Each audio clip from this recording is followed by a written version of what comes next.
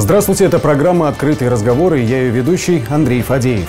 На последнем пленарном заседании Краевого законодательного собрания губернатор Пермского края Максим Решетников представил проект бюджета региона на 2020 год. Об основных параметрах главного финансового документа, а также об итогах депутатской работы мы сегодня поговорим с первым заместителем председателя Краевого законодательного собрания Игорем Попковым.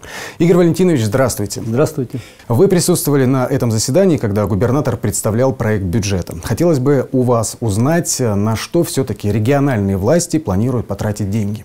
Конечно, в первую очередь будут тратиться деньги на социальные нужды наших жителей. Но хотел бы обратить внимание на две новеллы, которые были представлены губернатором э, в рамках трехлетнего проекта бюджета на 2020, 2021, 2022 год. Первая тема касается резкого увеличения инвестиционных расходов, как на строительство объектов социальной инфраструктуры, садиков, школ, больниц, так и дорожных объектов – и вторая тема, которую мы тоже давно уже ждали, это индексация социальных расходов, в том числе пособий и нормативов на содержание учащихся. В своей депутатской работе вы много внимания уделяете системе здравоохранения города Березники. Как вы оцениваете работу ушедшего на повышение бывшего главного врача краевой больницы имени Вагнера Михаила Суханова и какие приоритеты вы бы поставили перед новым главным врачом Романом Коневым? Сегодня мы можем сказать, что практически за два года, которые прошло с присвоения статуса городской больницы, статуса краевой, было сделано очень много. Но по деньгам, если говорить, то было вложено в модернизацию здравоохранения около 430 миллионов рублей. Сумма, в принципе, значительная с учетом того недофинансирования, которое было в предыдущие годы. И то, что эти деньги пошли на приобретение нового оборудования, МРТ, на ремонты, на проект «Новая поликлиника».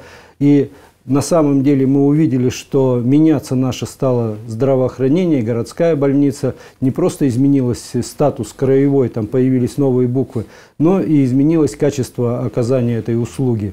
В этом, на мой взгляд, то, что сдвинулось, может быть, с мертвой точки или стало так из инертного развития, конечно, есть заслуга Михаила Сергеевича Суханова. Но я в таких случаях говорю, сделать, э, друзья, нам предстоит гораздо больше, чем сделано. И об этом мы буквально сегодня разговаривали с новым главным врачом краевой больницы Романом Андреевичем Коневым о том, что в ближайшую трехлетку нам необходимо наконец-то завершить э, совершенствование онкоотделения, связанное также работы с инфекционным отделением, с детским здравоохранением. В общем, перечислять я могу много. На сегодняшний день мы видим, что ресурс для реализации этих задач есть – в том числе с помощью промышленных предприятий. Главное не останавливаться, и тот взятый темп мы должны сохранить и в ближайшие три года. Кстати, мы уже пообщались с новым главным врачом краевой больницы имени Вагнера Евгения Антоновича. И сейчас давайте посмотрим небольшой материал о Романе Андреевиче Коневе. Роман Конев окончил Пермскую государственную медицинскую академию, затем пошел в интернатуру на хирурга. Работал проктологом, врачом-хирургом, а в ноябре 2017 года заступил на должность главного врача Добрянской больницы. За два года он закрыл долги, отремонтировал стационары и сократил очереди к терапевту.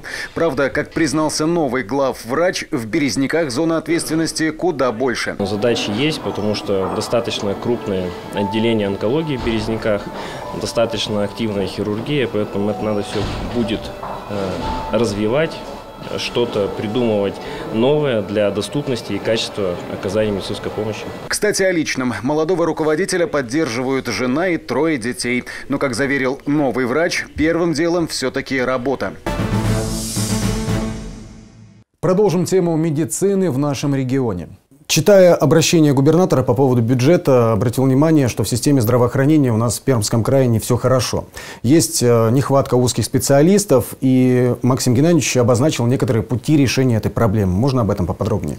В первую очередь, это создание так называемого целевого набора в нашем университете. Это касается не только студентов, но и ординатуры – на сегодняшний день мы видим цифры, что около 90 специалистов в течение пяти лет должны прийти э, в Березниковское здравоохранение. Но э, мы понимаем, что ждать пять лет никто не хочет, и на самом деле нам нужно решать сегодня эти задачи. Они решаются с помощью муниципальной программы привлечения кадров э, здравоохранения на помощь приходят и промышленные предприятия.